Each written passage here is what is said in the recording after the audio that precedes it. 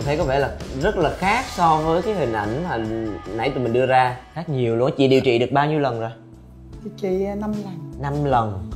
Ờ. M- là mới có 5 lần thôi hả chị? Tại vì rất là phong độ rất là đẹp trai luôn á. Em ơi dạ cho chị qua chị nhìn có phải người thật việc thật không?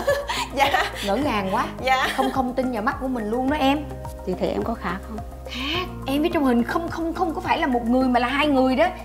Nhưng mà nhìn kỹ đó thì cái nét đúng rồi em. Chị là chuyên môn nhắc nhở những chị em phụ nữ đồng niên mà bạn của chị.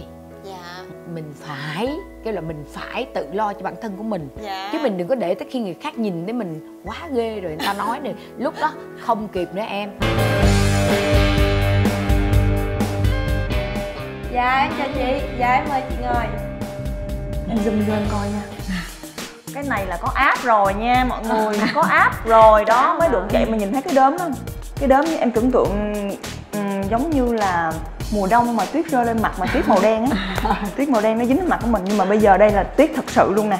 Bây giờ thì nhìn ở ngoài cái lớp make up này tại vì mình lên hình mình phải make up mà. Nhưng mà cái lớp make up này rất là mỏng nhưng mà vẫn không có thấy cái cái cái đốm nâu nó hiện lên rõ luôn.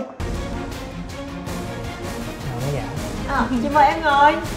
Ồ quá tuyệt vời như cải thiện rất là nhiều trên khuôn mặt của em. Nói chung là qua cái cái cái cái uh, câu chuyện của tài thì chị thấy được một cái vấn đề mà mọi người phải uh, à, sớm nhìn nhận ra. Đó là khi chúng ta gặp một cái vấn đề gì đó mà nó cản trở cuộc sống chúng ta nó làm cho chúng ta không được thoải mái thì tốt nhất chúng ta phải can thiệp càng sớm càng tốt.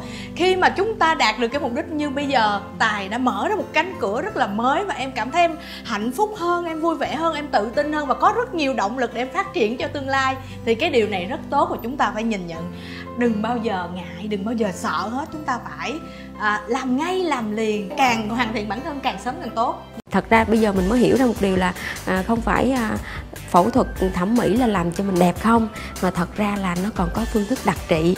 Bị nám nè bị tàn nhang là à, do ánh nắng và do thời gian làm cho mình trở nên là da sạm đi hay là nám đi hoặc là tàn nhang hiện lên rõ thì nó sẽ đặc trị cho mình để mình có cái khuôn mặt tự tin hơn xinh đẹp hơn và sáng sủa hơn. À, phụ nữ thì à, đa phần ai cũng bị nám người ít người nhiều. Thì à, bây giờ đừng bao giờ lo lắng nữa bởi vì có TW đó à, một cái nơi điều trị nám rất là rất là tốt và rất là tin tưởng.